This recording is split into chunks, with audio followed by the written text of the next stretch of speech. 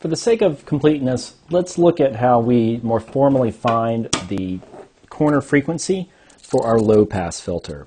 So previously, we looked at what happens when you measure the voltage across the capacitor, and you end up with a low pass filter, and we found that the transfer function for this particular low pass filter was equal to 1 over 1 plus JWCR. And to help us analyze this transfer function in a little more detail, we really would like to have it in a form that looks like our general polar coordinate system, but right now it's in a Cartesian coordinate system. And so we have to go through sort of the minorly horrible math of taking our fraction there and expressing it in a polar coordinate system.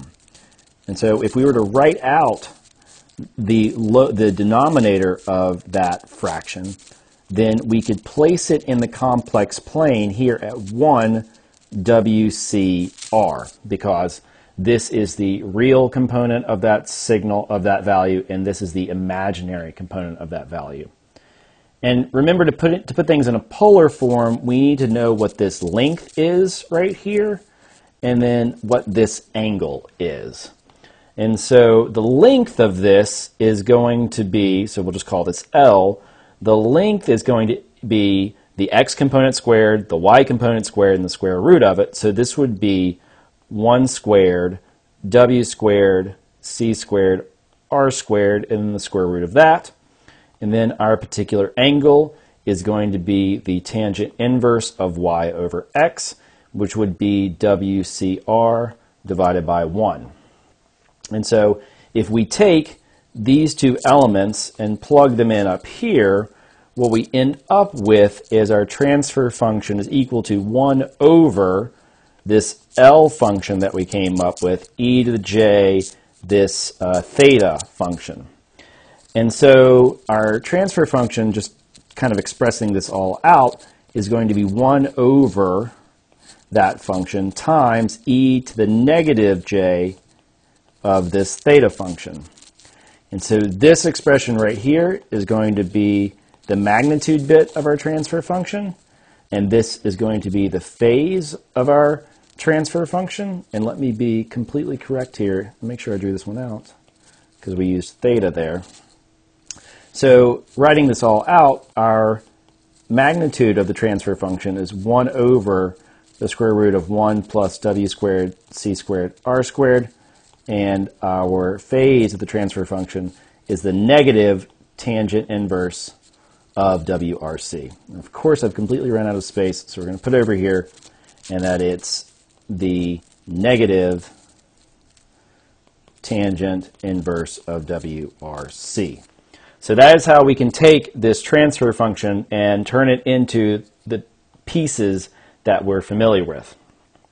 And now that we have both the magnitude element of the function and the phase element of the function, we can derive more formally what the corner frequency is.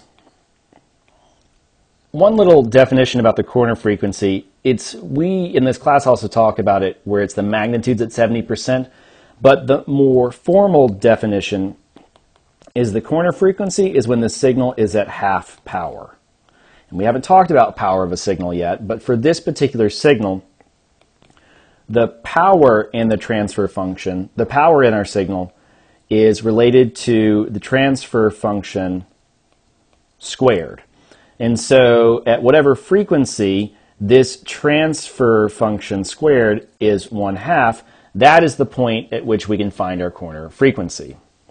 And so we can take our definition here of our corner frequency squared, so that'd be 1 over square root of 1 plus r squared c squared omega squared, square it is equal to 1 half.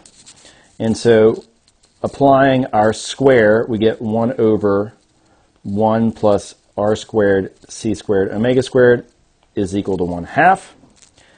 Rearranging all of our values here, we end up with 1 plus r squared c squared w squared is equal to 2, which makes r squared c squared w squared equal to 1. And so now, if I take the square root of all of this, we have RCW is equal to 1. And so finally rearranging if we solve for frequency, we get 1 over RC. And since we solved here for when this expression was 1 half, that is how we determine the corner frequency for this particular low-pass circuit.